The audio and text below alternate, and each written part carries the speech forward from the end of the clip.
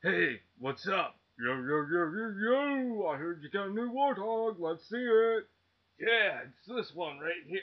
Look at this kick-ass car. Yeah, it's kick-ass.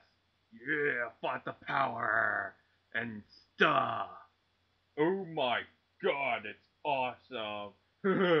because it's big. and it's a car. oh, oh, I love cars. What? Oh, no, it's not that one. It's that one. That's a tire. Yeah, I know. But if I like buy four of these and like buy buy a body and then like buy an engine and then buy an armor stuff and then buy windows and then buy a buy a massive turret to go on it and then pay someone to go on the turret and then buy the bullets and whatnot, you know, to shoot the Covenant and whatnot, I'll have a full car. Wow. Um. This sucks.